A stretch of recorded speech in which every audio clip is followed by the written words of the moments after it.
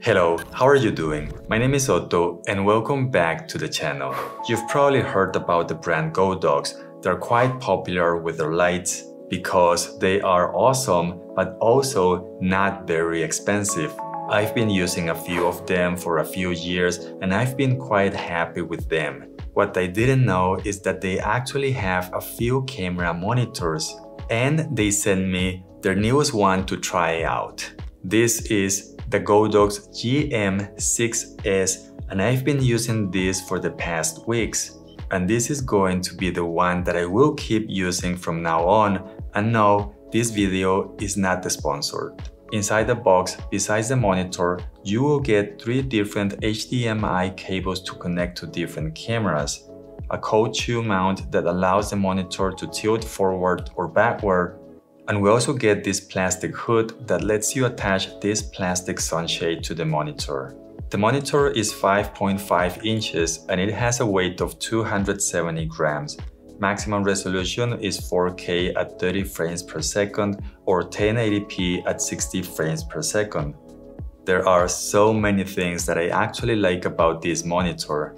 It is very bright, this has 1200 nits and it is great if you want to use it outdoors and the great thing about it is that it doesn't have a fan. So it is completely silent even if the brightness is set to the maximum. The monitor is not only bright, but the colors are, oh my. What you see on the screen is what you get because of their accurate color reproduction. Colors look beautiful and it has a nice 160 degrees viewing angle. The screen is touch enabled and this will let you access the menus and change the different settings on the go. Compared to other monitors that I've used in the past, the screen is quite responsive and the menu layout and the different options are easy to understand. This monitor does have all the standard features that you would expect. For example, here you can select Focus Assist, which by the way, I usually never trust this when I use it on other monitors because they're not quite accurate, but this one actually is. Down here, you can select the focus color and intensity. Over here, you can turn on the zebra lines and select the brightness level. And here, you can turn on different waveforms. Over here, you can turn on or off a center marker, safety markers, and place different grid lines, just like this. Here on the basic menu, you can select to turn on the audio meter false color, monochrome, pixel to pixel, and here you can zoom in and out. The display menu will let you change the brightness, the contrast, the saturation, and sharpness of the monitor. At the top of the monitor, you will find this wheel to access and control the menu. And here you will also find these 5 shortcut buttons to quickly access the settings without going inside the menu. The beautiful thing about them is that they are customizable, so you can select whatever setting you want them to change when you press them. On the left side of the monitor, we have two HDMI ports, one for input and one for output signal.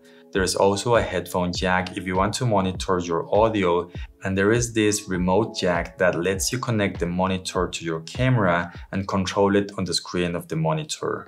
Let me rephrase that. You can control your camera on the monitor if you connect them together.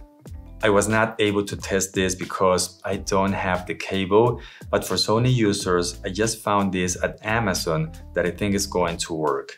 I am going to buy it soon, try it out, and then report back to all of you. To power this monitor, we have multiple options. At the back of the unit, we have this battery slot where you can use Sony NP-F batteries.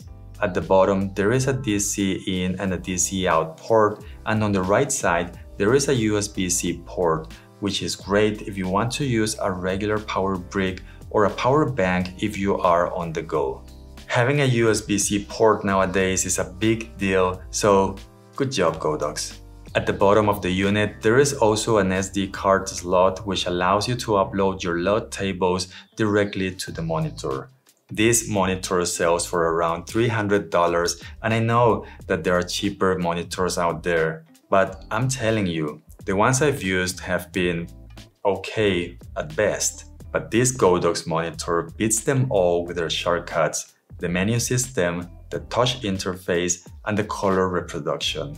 This is a good investment if you are a content creator and if you're looking for a quality product. The link to this product is going to be down below. I hope you're having an amazing day and I really hope to see you in the next video. Bye.